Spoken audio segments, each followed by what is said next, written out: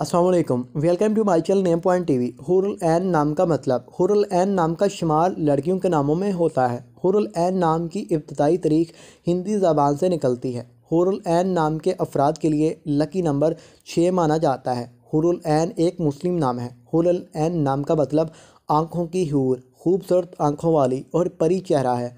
हुरुल एन नाम के अफराद के लिए मुआफ़ और फ़ायदा मंद नंबरों में पाँच, सात, आठ शामिल हैं।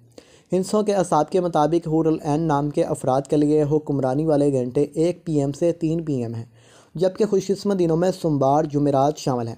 खुशकस्मती वाली दातों में हिंसों के असाब से चांदी शामिल है। हुरुल एन नाम के अफराद के लिए मुआफ़ रंगों में सफ़ेद गुलाबी हल्का सबज शामिल है, जबकि मतमादल मुआफ़ पत्थरों में मोती रूबी शामिल है।